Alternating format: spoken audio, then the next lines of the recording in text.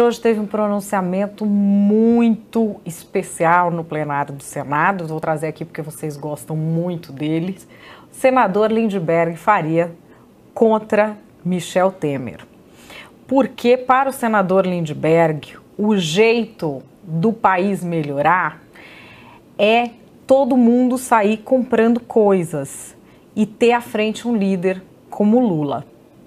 Não é assim tão simples como eu estou falando, obviamente. O senador elabora muito mais essa narrativa. Vamos ouvir. Dizer que nesse momento está havendo um depoimento de Eduardo Cunha sobre essa situação envolvendo Michel Temer. Nesse momento, na Polícia Federal. É essa situação que a gente está vivendo, senador Jorginho. Eu chamo a atenção dos senadores aqui da base do governo. Acabou. A gente tem que pensar no país. Só um presidente sendo eleito de forma direta, com voto popular, vai ter força para tirar o país da crise. Eu me lembro em 2008, 2009, quando o presidente Lula, no meio daquela crise, disse para o Brasil: olha, vamos consumir, nós vamos enfrentar esse problema da crise.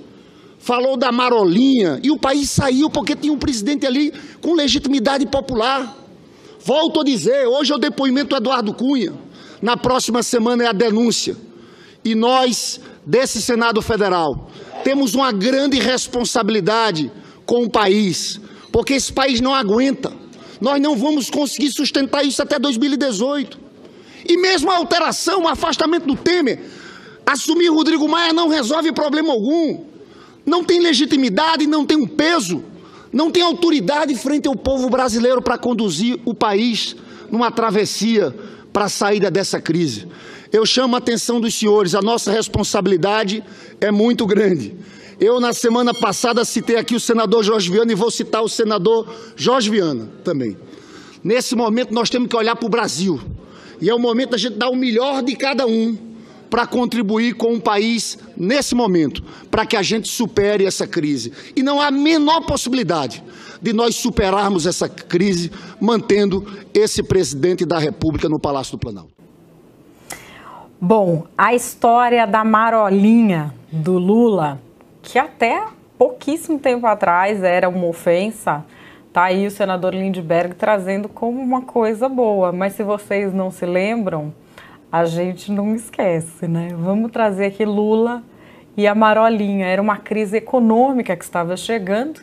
É, mas o Lula dizia que se nos Estados Unidos ela chegava como um tsunami, aqui Ia ser só uma marolinha. Vamos ver.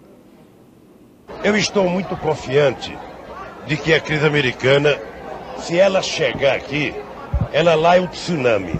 Aqui ela vai chegar uma marolinha, que não dá nem para esquiar.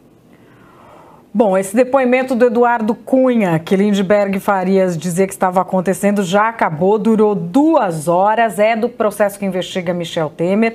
Segundo a apuração do antagonista, Cunha deu apenas explicações gerais e condicionou algumas respostas ao acesso integral ao inquérito.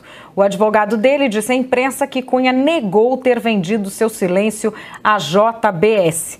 O antagonista apurou ainda que a Polícia Federal está ouvindo neste momento Lúcio Funaro. É um depoimento complementar ao prestado na semana passada no âmbito dessa mesma operação, a Patmos, que subsidia a denúncia da Procuradoria-Geral da República contra Michel Temer. O operador de Cunha também negocia um acordo de delação premiada.